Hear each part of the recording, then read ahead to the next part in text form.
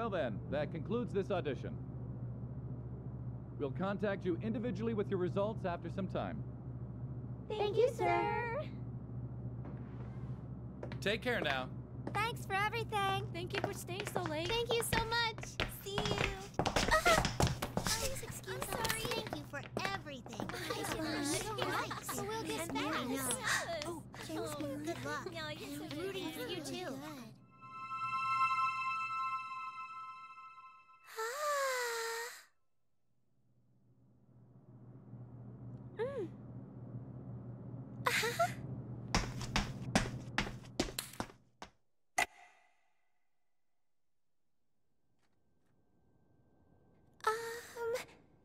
excuse me?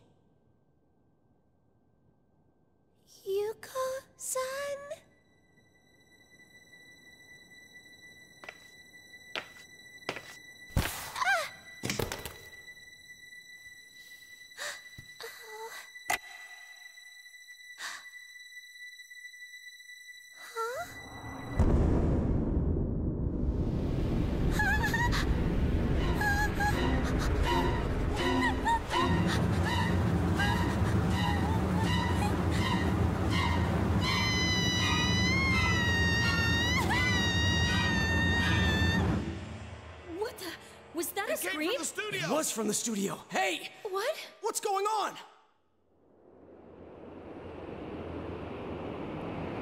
Hey, have you heard that rumor? Huh? Which one? When you look at some website at midnight, oh, there's this weird video that plays on its own.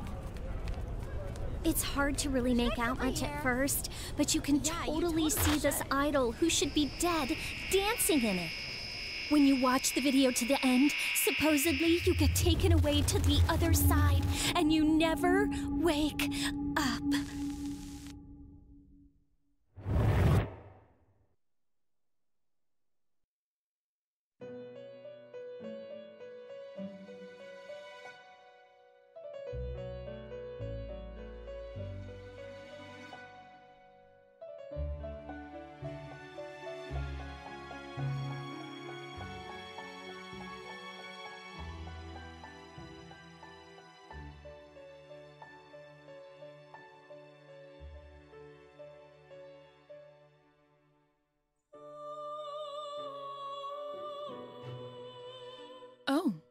Welcome to the Velvet Room. Don't worry, this is merely a dream. The you in the real world is sound asleep. Having said that, you're no guest of this room.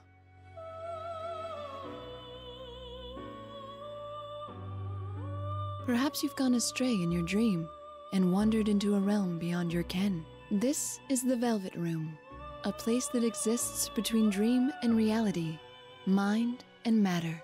Normally, only those who have agreed upon some form of contract may come here.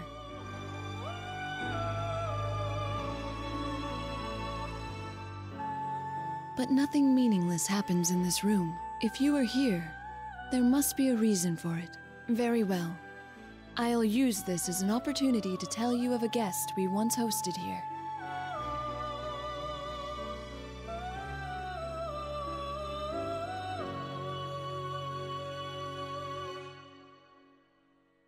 Yes, I know just whose story to relate.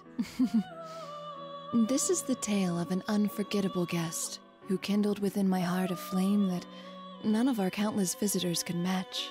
I knew him as Yu Narukami. In overcoming a terrible ordeal that befell a certain town, he formed an irreplaceable bond with his friends. The power of their bond supported them. Through every trial, even when facing an adversary with inhuman powers, they remained undaunted throughout. you seem perplexed. I'm not surprised. You could have no notion of what I'm speaking of, after all. In that case, I will show you a glimpse into the story after they overcame their ordeal.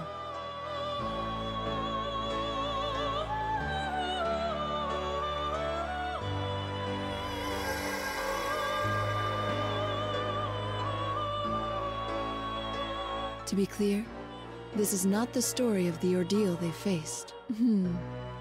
One might think of it as a festival that they performed in, at the risk of their own lives.